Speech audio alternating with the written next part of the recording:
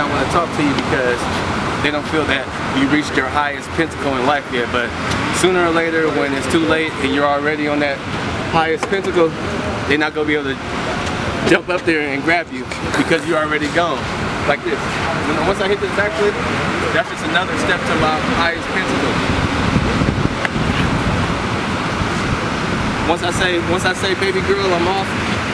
I'm pretty much done, bro. Here I go. You ready?